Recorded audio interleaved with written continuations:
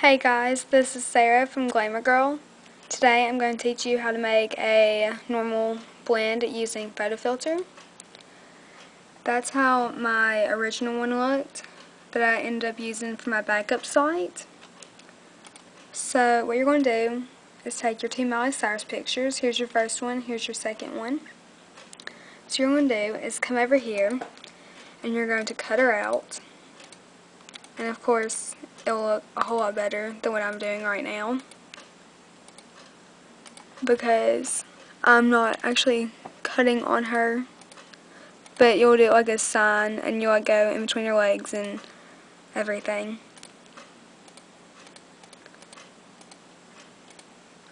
Okay whenever you get all the way up here don't connect it but um, go up to the top and trace around the border of the picture.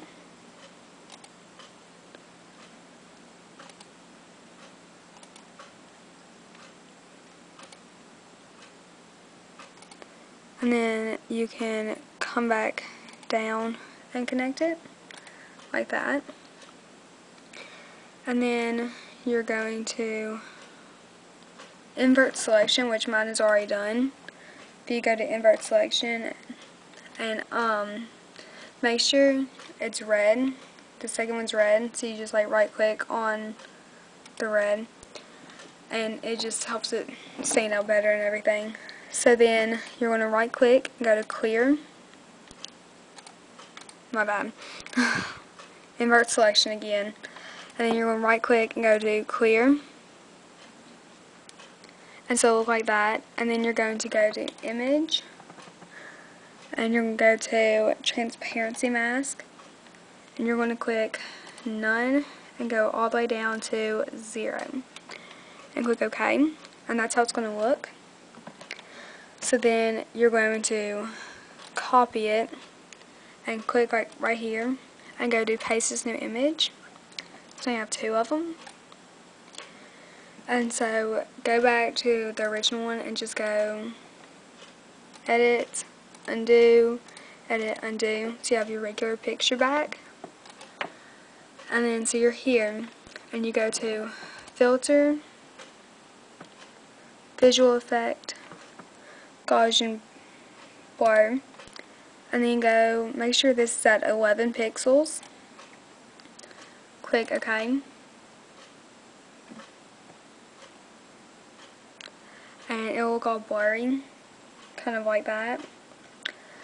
So copy that and click back to your original picture and go to edit, paste special, assemble and make sure it's on the right and click OK.